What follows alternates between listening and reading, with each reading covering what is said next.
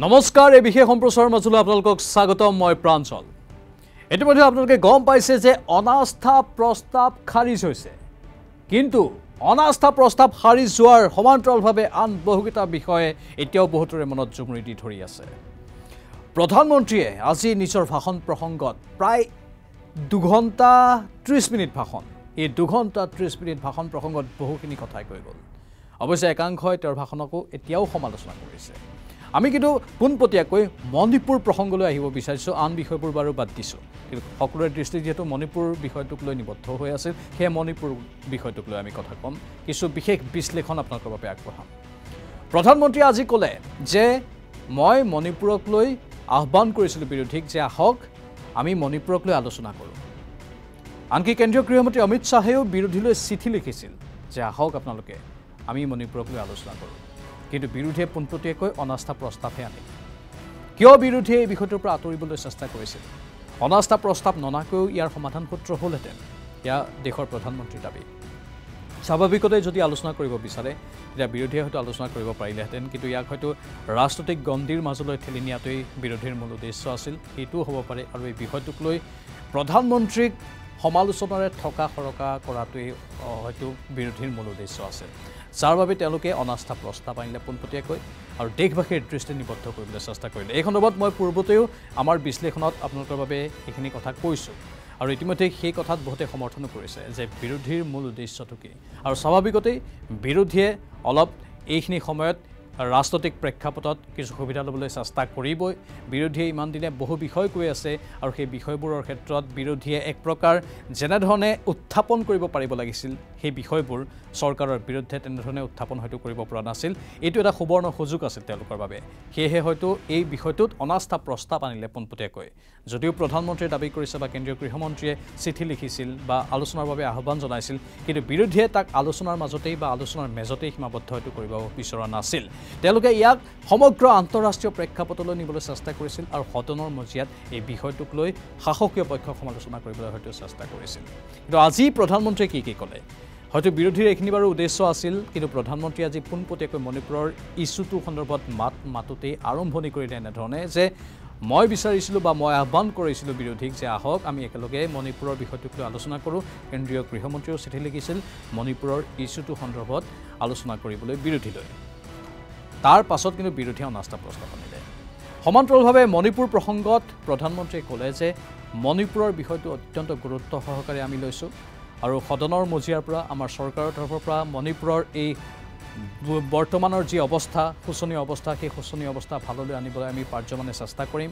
আমি উৎসুক হৈ আছোঁ এই বিষয়টোক লৈ আমি উদ্গ্ৰীৱ হৈ আছোঁ এই বিষয়টোক লৈ আৰু এই বিষয়টোৰ সমাধান সূত্ৰ আমি বিচাৰোঁ। মণিপুৰত মহিলাৰ ওপৰত অত্যাচাৰ হৈছে সেইটো কোনো কাৰণতে সহ্য কৰিব নোৱাৰি। আৰু যিসকলে মণিপুৰত মহিলাৰ বিৰুদ্ধে অত্যাচাৰ চলাইছে তেওঁলোকক কঠোৰ হাতেৰে দমন কৰা হ'ব। মণিপুৰ চৰকাৰ কেন্দ্ৰীয় চৰকাৰে এই অপশক্তিক দমন কৰিব। এয়া হ'ল প্ৰধানমন্ত্ৰীৰ বক্তব্য। মণিপুৰক উন্নতিৰ শিখৰলৈ নিবলৈ বৰ্তমানৰ চৰকাৰে পাৰ্যমানে চেষ্টা কৰিব আৰু যিমান পাৰি সিমান মণিপুৰৰ উন্নতিৰ বাবে অৱদান বৰ্তমানৰ চৰকাৰে আগবঢ়াব বুলি প্ৰধানমন্ত্ৰীয়ে সদৰি কৰিছে। কিন্তু লগতে প্ৰধানমন্ত্ৰীয়ে ইতিহাসৰ কিছু কথাও ক'লে। এই সন্দৰ্ভত আপোনালোকে বাৰু মতামত আগবঢ়াব আমাৰ কমেণ্ট বক্সত প্ৰধানমন্ত্ৰীৰ এই বক্তব্যবোৰক আপোনালোকে কেনেধৰণে লয়? প্ৰধানমন্ত্ৰীৰ বক্তব্যত ক'ৰবাত কিবা সমালোচনাৰ যদি বিশেষ বিন্দু আছে সেই কথাবোৰ আপোনালোকে নিজস্ব ব্যক্তিগত ধাৰণাৰে আমাৰ কমেণ্ট বক্সত মন্তব্য কৰি জনাব। কিন্তু মই আজিৰ গোটেই সদনৰ প্ৰেক্ষাপটৰ মণিপুৰৰ ইছ্যুটো সন্দৰ্ভত প্ৰধানমন্ত্ৰীৰ বক্তব্যখিনিক আপোনালোকৰ সন্মুখত তুলি ধৰিছোঁ আৰু তাৰে কিছু বিশ্লেষণ আগবঢ়াম। প্ৰধানমন্ত্ৰীয়ে ক'লে মণিপুৰ আজিৰ অশান্ত মণিপুৰ নহয়। মণিপুৰ। ইয়াৰ পূৰ্বেও অশান্ত হৈছিল।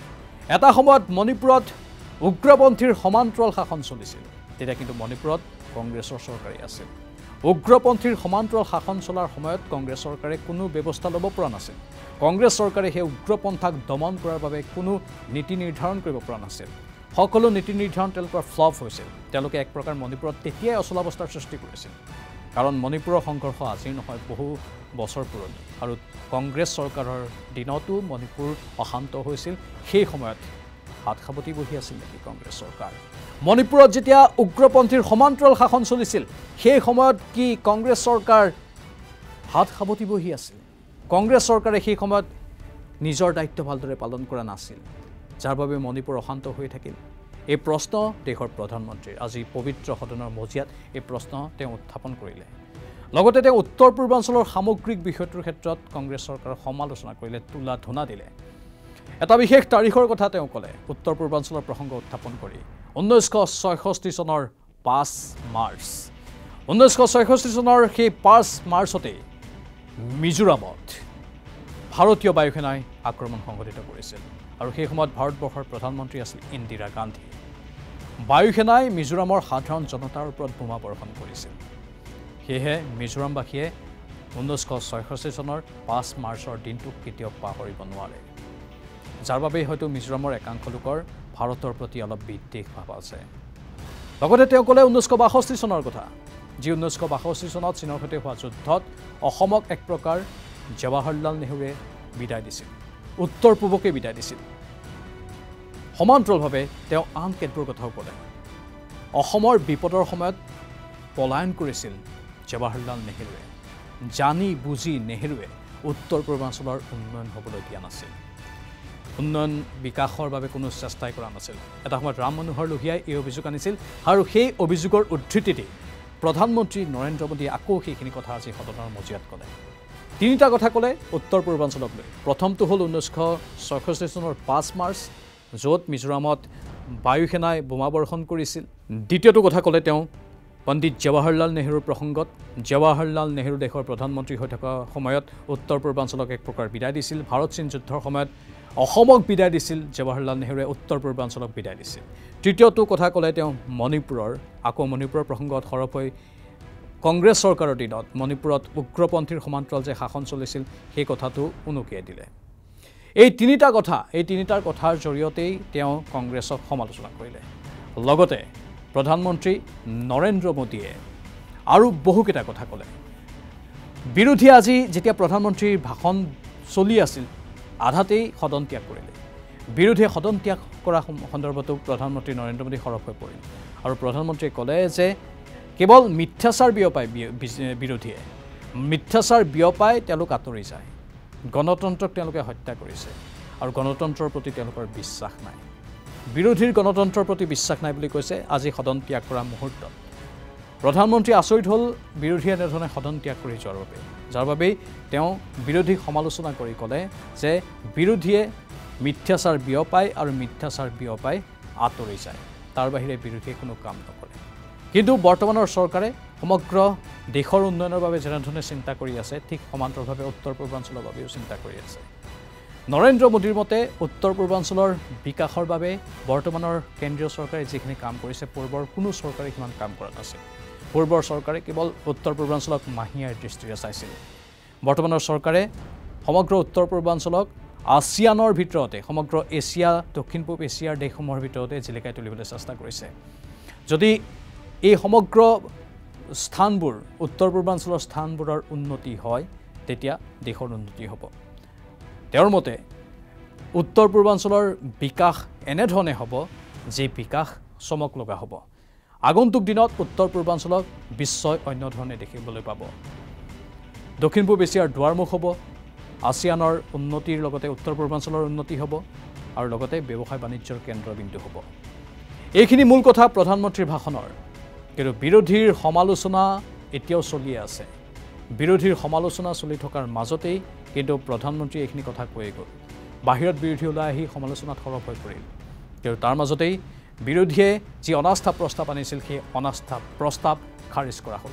তিনিদিন ধৰি এই অনাস্থা প্ৰস্তাৱৰ ওপৰত আলোচনা হ'ল আৰু আজি প্ৰধানমন্ত্ৰীৰ ভাষণৰ অন্তত এই অনাস্থা প্ৰস্তাৱ খাৰিজ কৰা হয়। তাৰ মাজতে আকৌ বিৰোধী দলৰ প্ৰতি অধীৰ ৰঞ্জন চৌধুৰীক সদনৰ পৰা নিলম্বন কৰা হৈছে। কাৰণ তেওঁ অসংসদীয় কিছু বক্তব্য প্ৰদান কৰিছিল যাৰ বাবেই অধীৰ ৰঞ্জন চৌধুৰীক সদনৰ পৰা নিলম্বন কৰাৰ সিদ্ধান্ত লোকসভাৰ অধ্যক্ষই গ্ৰহণ কৰে। এইখিনি আছিল আজিৰ নীতিৰ গুৰুত্বপূৰ্ণ কথা। কিন্তু এইখিনিতে প্ৰধানমন্ত্ৰীৰ ভাষণ সন্দৰ্ভত বিভিন্নজনে এনেধৰণেও বক্তব্য প্ৰদান কৰিছে যে প্ৰধানমন্ত্ৰীগৰাকীয়ে কথা ভাল কয় কিন্তু কামত একো কৰিব নোৱাৰে। তেওঁ যিখিনি কথা কয় সেইখিনি কথা কামত প্ৰতিপন্ন কৰিব নোৱাৰে। ইয়াৰ বিভিন্নজনৰ বক্তব্য। বিৰোধীয়ে এনেধৰণে সমালোচনা কৰিছে।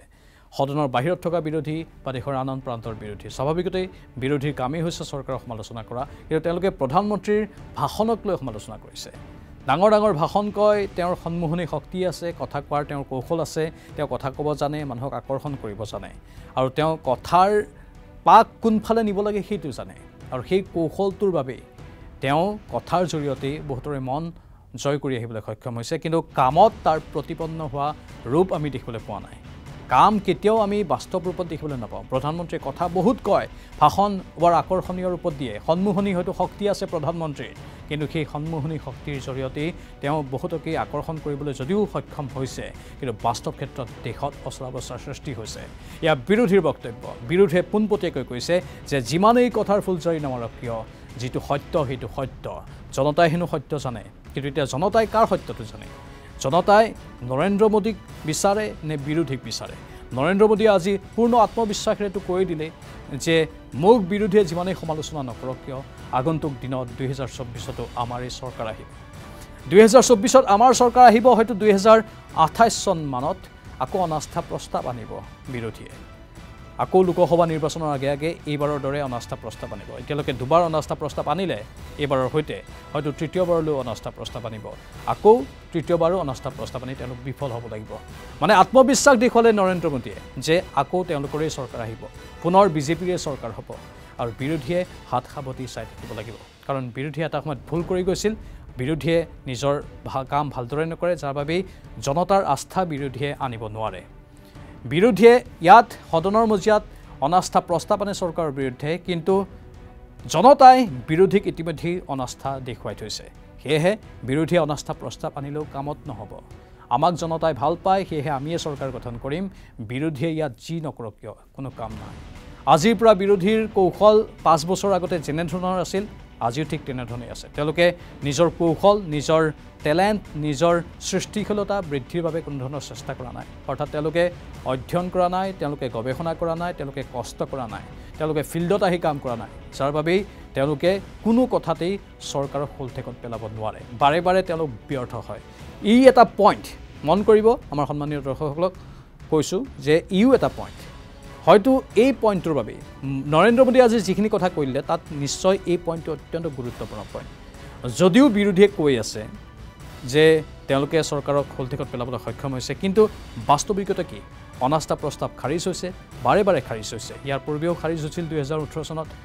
দুহেজাৰ ওঠৰ চনত অৱশ্যে অনাস্থা প্ৰস্তাৱ খাৰিজ হোৱা নাছিল তেতিয়া অনাস্থা প্ৰস্তাৱৰ ফলাফলত শাসকীয় পক্ষত জিকিছিল। এইবাৰ অনাস্থা প্ৰস্তাৱ খাৰিজ হ'ল। কিন্তু অনাস্থা প্ৰস্তাৱ আনি আনিও বিফল হ'বলগীয়া হৈছে। অনাস্থা প্ৰস্তাৱে কোনো কামত দিয়া নাই কাৰণ তেওঁলোকৰ ক'ৰবাত গেম প্লেনত প্ৰব্লেম আছে।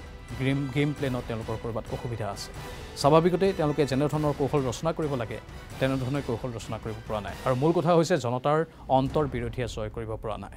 যদি জনতাৰ অন্তৰ বিৰোধীয়ে জয় কৰিব পাৰে স্বাভাৱিকতেই শাসকীয় পক্ষ শোলঠেকত পৰিব।